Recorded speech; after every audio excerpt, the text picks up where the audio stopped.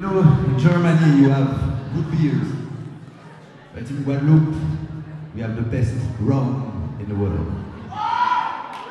The next song is called White Rum.